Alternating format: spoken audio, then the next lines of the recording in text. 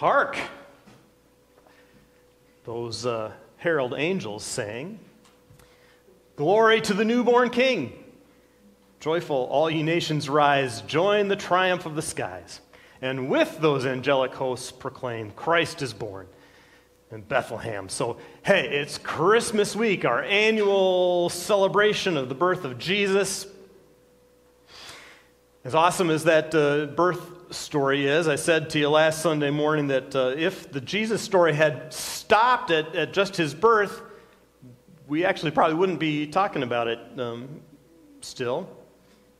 Uh, so while, while we focus on the birth of Jesus at Christmas time, it really is the entire Jesus event that we celebrate at Christmas his birth, his life, his death, his resurrection, uh, the whole package. And so in my Advent sermon series for you this year, um, we've taken one sermon to spend some uh, time looking in some detail at his birth.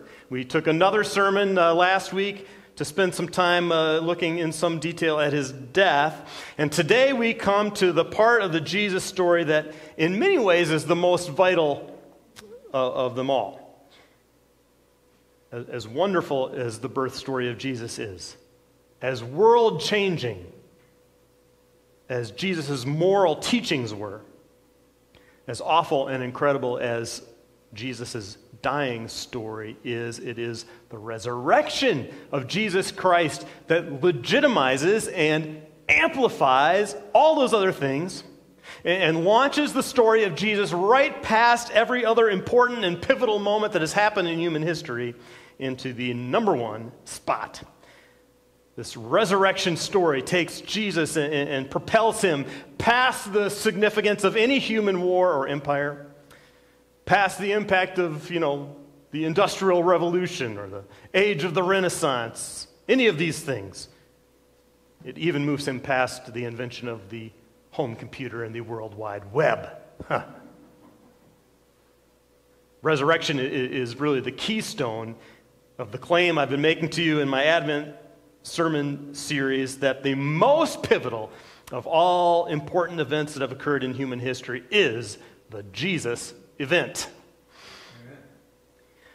So, today, as part of our celebration of Christmas, we're actually going to look at the resurrection. And I'll be keeping to the same format we've been using in these other sermons, uh, which means that we'll start in with reading some of the resurrection story.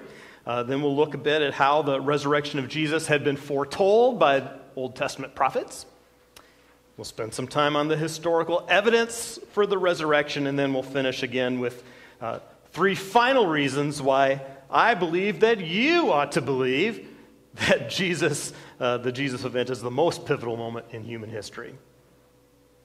For our reading of the resurrection story, we'll stay in Luke. That's the book we've been studying uh, throughout this year. And uh,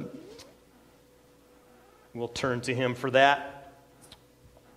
So, following Jesus' death on the cross, Luke reports to us that Jesus was buried, after waiting for the Sabbath day to pass, some of the women who had been Jesus' followers uh, came to his tomb and found it empty. A couple of angels let them know that Jesus had been risen. And we're going to start our reading uh, from where the actual appearances of the resurrected Jesus uh, begin, and this would be verse 13 of Luke 24, which says to us that same day, uh, two of those who followed Jesus were going to a village called Emmaus, about seven miles from Jerusalem. They were talking with each other about everything that had happened. As they talked and discussed these things with each other, Jesus himself came up and walked alongside them, but they were kept from recognizing him. He asked them, What are you discussing together as you walk along? They stood still, their faces downcast. One of them, named Cleopas, asked him, Are you the only person visiting Jerusalem who does not know the things that have happened there in these days?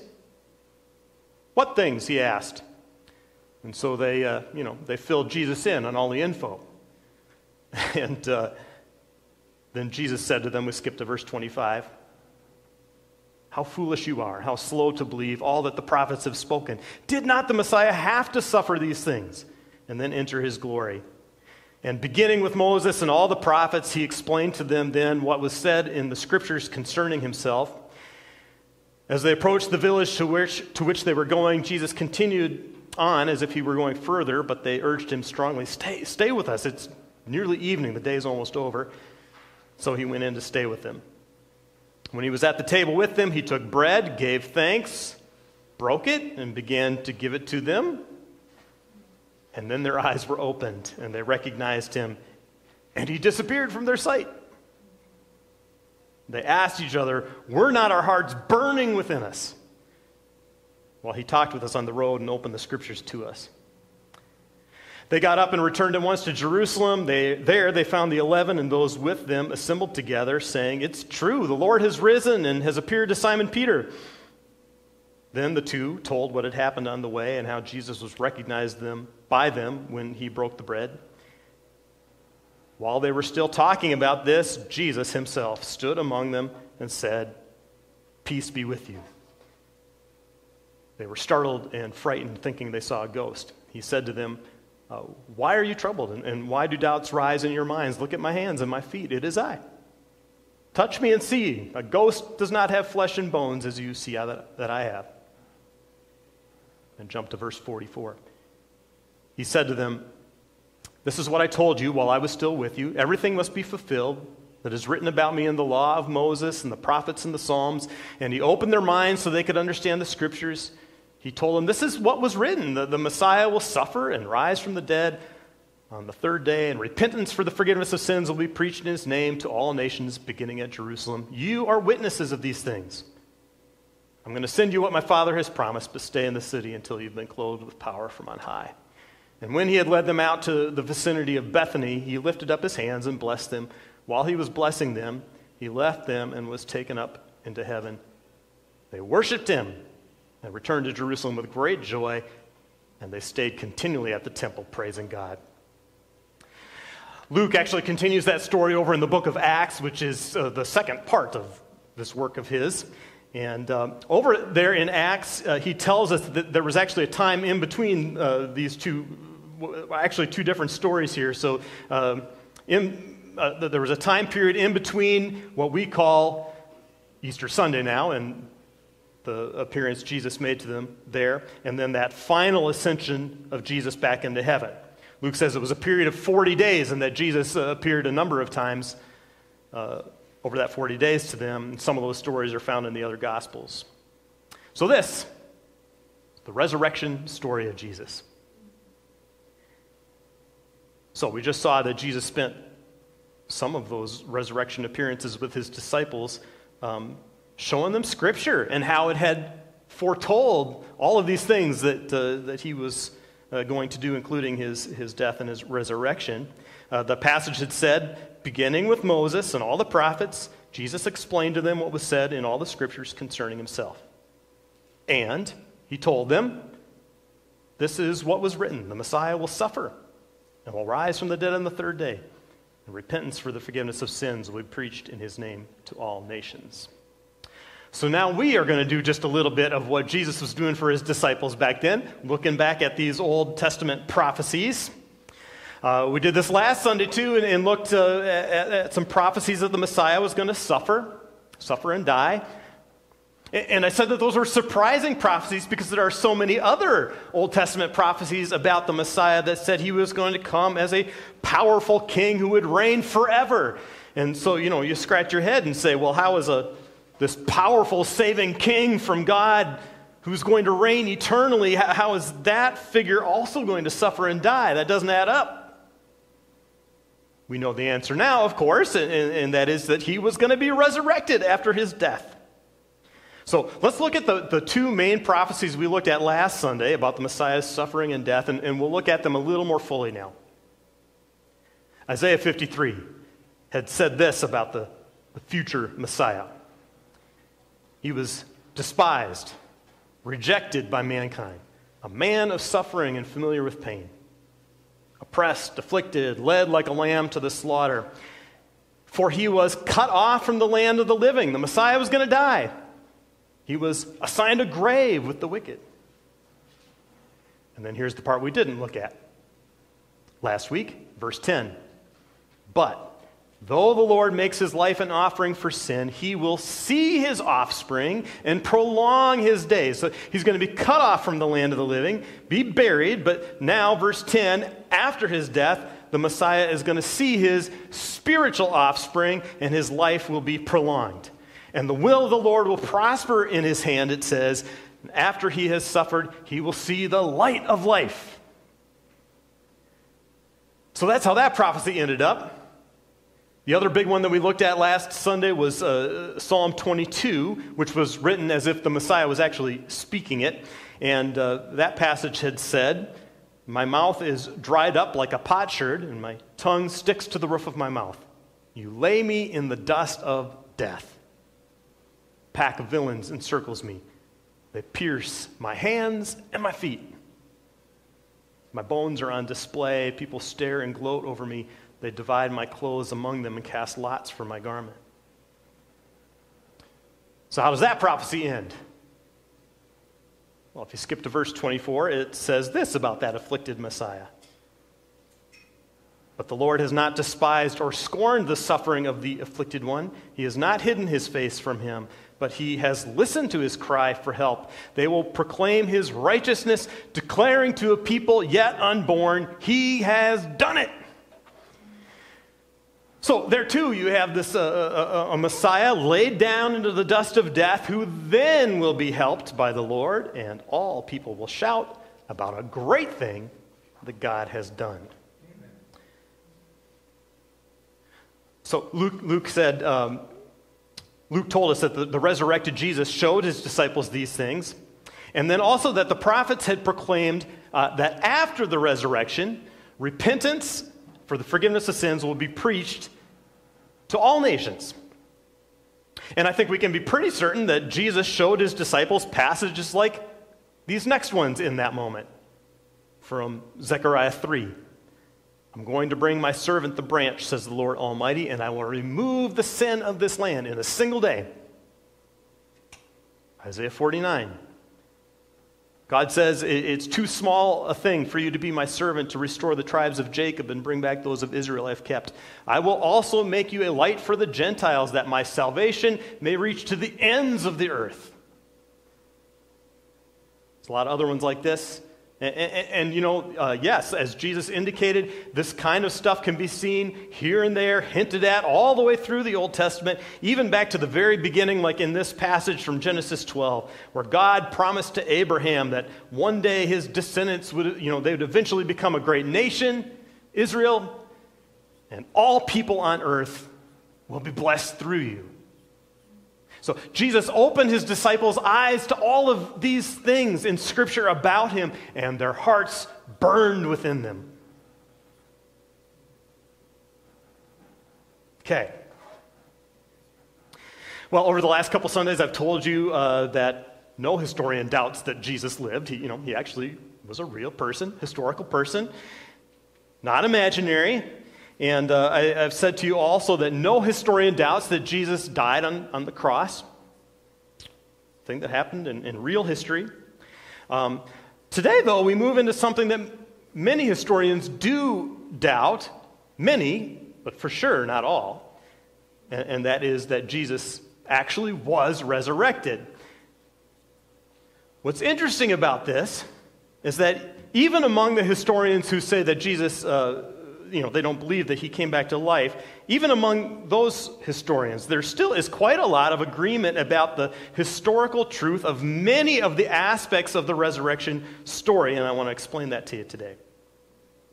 And I'm just going to interject and say here, I'm going to spend a little time on this, and um, you know, it, it, it, gets a little deep. We'll feel like we're feel like we're in school here today, I guess.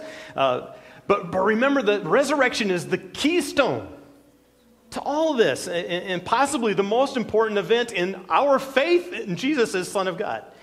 Um, so it had better be historically true, right? So this, this material matters. If, if Jesus was historically born and historically died, but he was not historically resurrected, then we have a problem, Christ followers. so I, I, hope you can be patient and, and try to engage with this stuff along with me. I think it's worth it. in a book titled Did, Did Jesus Rise from the Dead? University professor and author Gary Habermas writes this There are at least 11 elements associated with the death of Jesus and the days following his death that are considered to be knowable history by virtually all scholars, and a 12th event is considered to be knowable history by many scholars. And then Professor Habermas uh, lists those 12 events, and for the sake of time, I'm, I'm going to whittle them down just a bit and relay eight of those things to you. So uh, here they come now. Uh, eight things that almost all historical scholars say should be considered uh, history. Number one, Jesus' death caused the disciples to despair and lose hope. Gospel of John talks about how they were hiding behind locked doors when the resurrected Jesus first appeared to them. And that would have been a very natural uh, reaction and way for them to behave after watching what, had, what the authorities had just done to the man they were disciples of. Continuing on with the list, number two, uh, and this actually is the one that Professor Habermas said was not, not as universally agreed upon, but still many uh, uh, uh agree upon it. Number two, many scholars hold that Jesus was buried in a tomb that was discovered to be empty just a few days later. Number three, critical scholars even agree that at this time the disciples had real experiences that they believed were literal appearances of the risen Jesus. That's a big one. Look at that one. Critical scholars even agree that at this time the disciples had real experiences that they believed were little, literal appearances of the risen Jesus. Why would skeptical scholars say that? Well, you got to look at number four. because of their experiences, number four, the disciples were transformed from doubters who were afraid to identify themselves with Jesus to bold proclaimers of his death and resurrection, even being willing to die for this belief.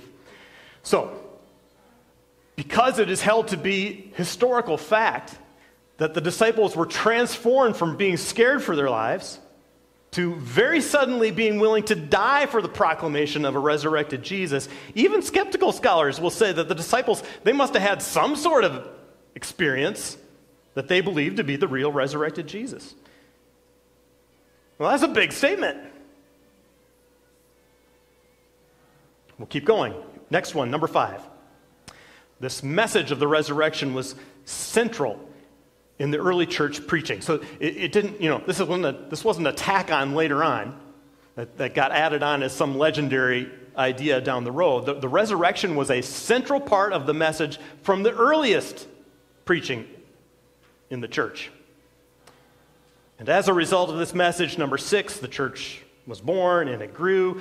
Uh, Number seven, James, the brother of Jesus and a skeptic, was converted to the faith when he also believed that he saw the resurrected Jesus.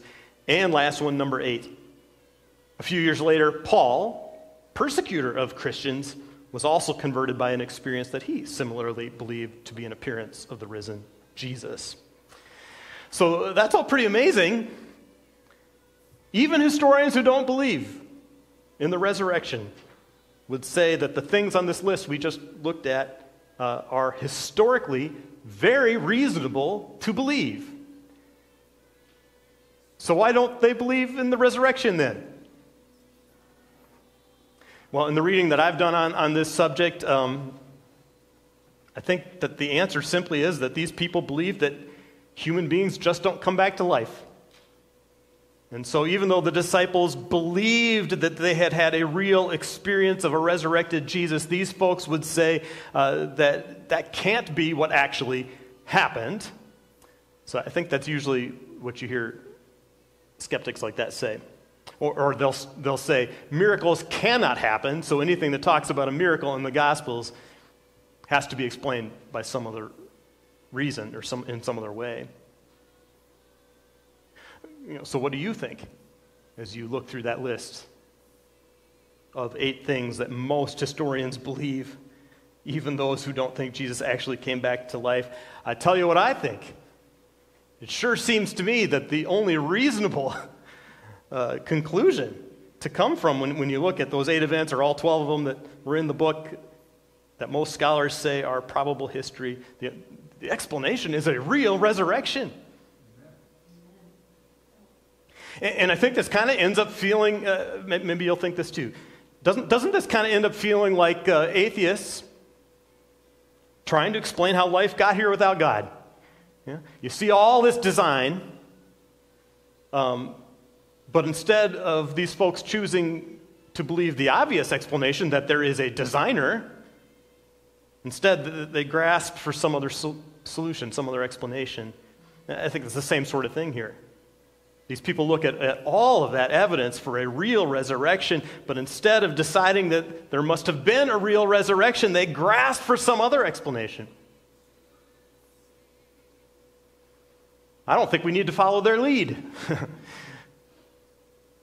know, I, have said here many times in the past I cannot scientifically prove to you uh, that a designer exists. I cannot scientifically prove to you that Jesus actually rose from the dead. There are reasons you could cite to support a decision, you know, that there is no God or that Jesus didn't rise from the dead. But I do believe that the evidence on both of those questions strongly falls on the side of what the Bible says is true. Belief in a historical resurrection is not an ignorant belief. And in fact, I would argue that it actually is the best explanation of the evidence. You know, I don't know if you get into this stuff. I, you know that I do, but uh, come, come, come see me about this if you have questions. There's uh, a lot more to talk about than you can fit in one sermon. I'd love to talk to you about that. And with that, we're on to our last agenda item for the morning's sermon. In each of these uh, Advent sermons, I have offered three reasons to you why I believe the Jesus event was the most pivotal moment in human history. Uh, here, then, and we'll get through this quickly, are my final three points for you to consider. Number one Jesus represents a real, tangible communication from the Creator God to us. Jesus represents a real, tangible communication from their Creator God to us. And, and the resurrection of Jesus proves this, right? Skeptical, skeptical scholars say that people just don't come back to life after dying. And that is our experience, right? That's what we observe. But maybe all that means for us is that if someone did come back to life, then that would be a person worth paying great attention to.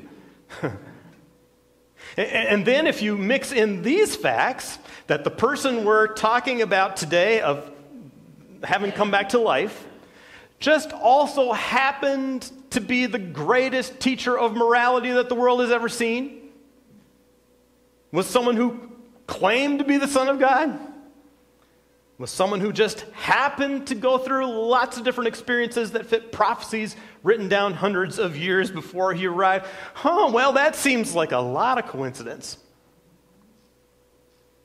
Why is the Jesus event the most pivotal moment in human history? Because Jesus represents the most solid, evidence backed communication from God to humanity that we've got. That's why real, tangible communication.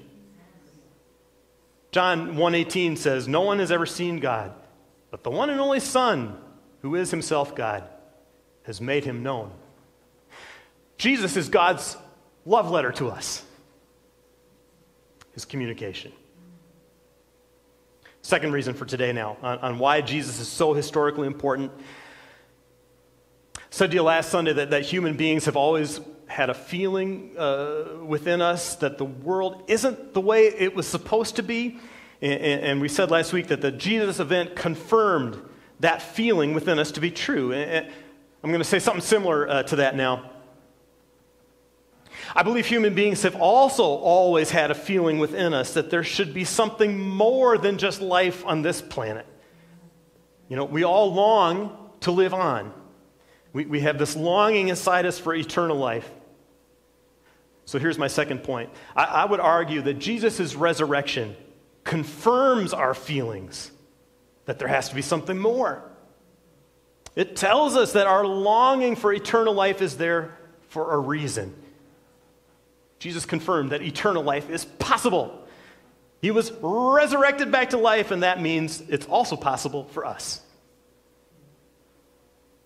There's a lot of talk about heaven in the New Testament, but even some of those Old Testament prophets got into this subject on occasion. Here's a, a prophecy from Isaiah. This one, not about the coming Messiah, but instead about the followers of God from Isaiah 26. Your dead will live, Lord. Their bodies will rise. Let those who dwell in the dust wake up and shout for joy. Your dew is like the dew of the morning. The earth will give birth to her dead. Resurrection is possible. Eternal life is possible. Jesus showed the way. Final point for the morning.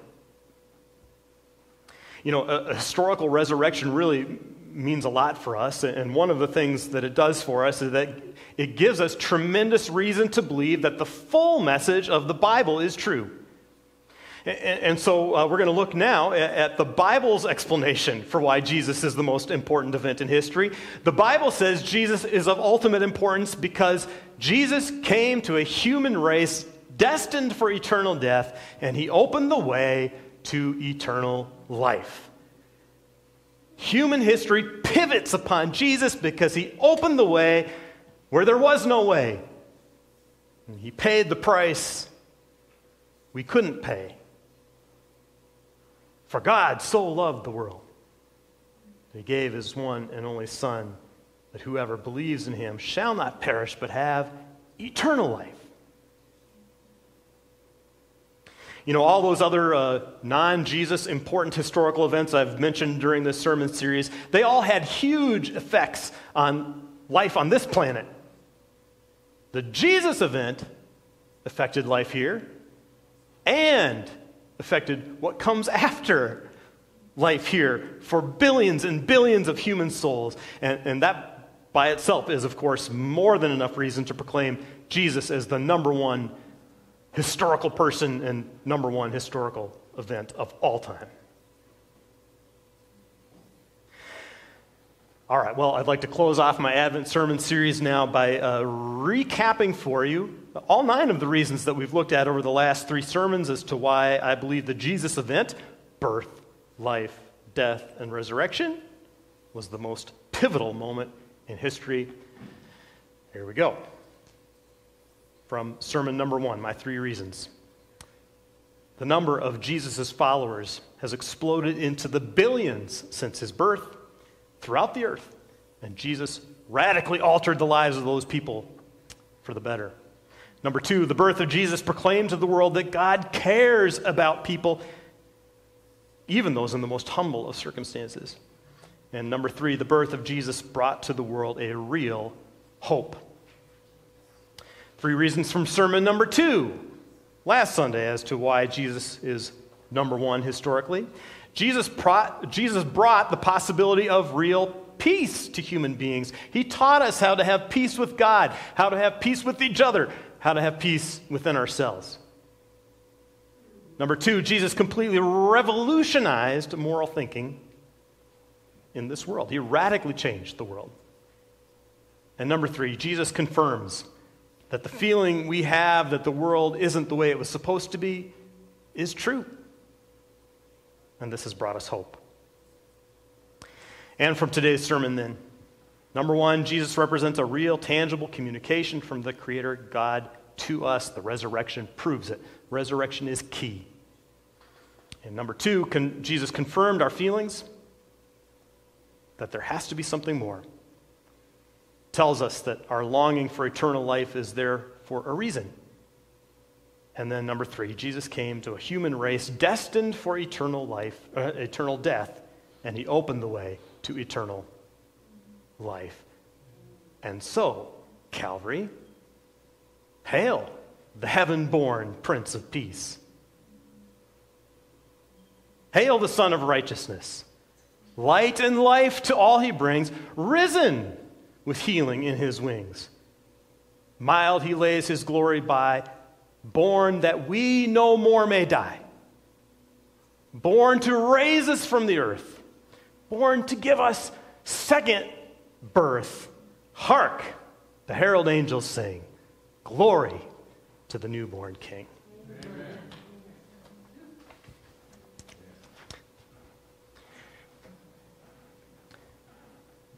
Lord Jesus, we give you glory, we give you praise